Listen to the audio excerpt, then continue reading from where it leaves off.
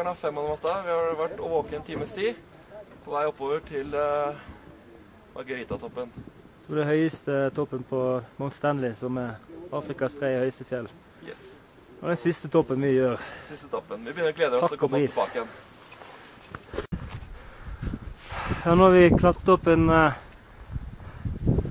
bratt eh, seksjon her. Og Andreas er i superform, sier han er ganske bra. Jeg har en uh, eh, snikende hodepine, men uh, den er ikke kommet ennå. Og deg sjøl? Nei da, det går bra. Men det er tungt. Nå er vi på vei ned fra Stanley-platået til uh, Margarita Kleisjø. Ja, ok. Så den er ganske bratt, så skal vi opp den nå. Er du fin i formen? Ja, da er vi faktisk under Margarita Breen. Det er ikke verst. Massevis. Det er masse vis. Og gammel is. Det er vakkert. Ja.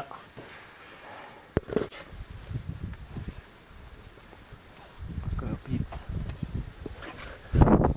Hei!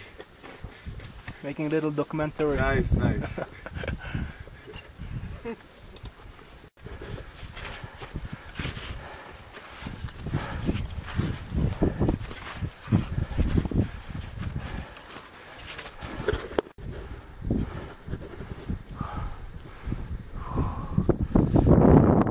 Heading to Magdalita Peak. Uh, we finish this peak. After Magdalita uh, Peak, then you're going down to Helen Hart. Well,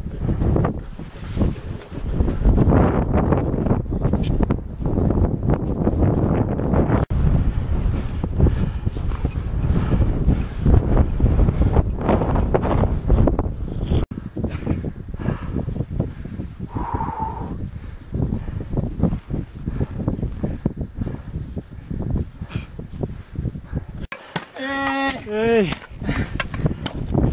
Så. Går vi de siste meterne opp.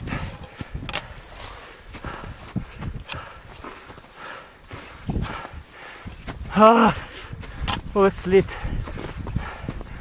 Yes! Ooh! We are now above the whole Yeah! yeah. Uh, The oh. highest mountain in Uganda, the third highest in Africa. Yeah. Yes. Super.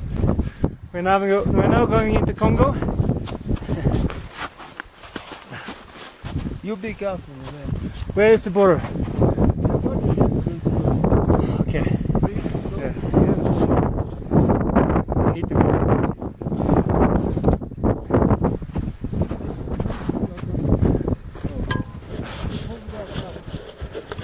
Okay, we are now in Congo. I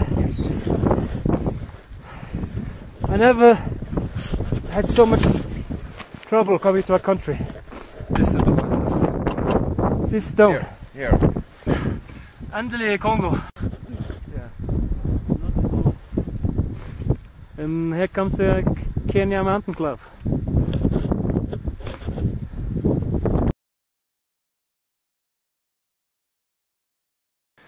Nå er vi på vei ned. Etter lang dag. Lang dag. Sto opp fem, nå er klokka halv seks.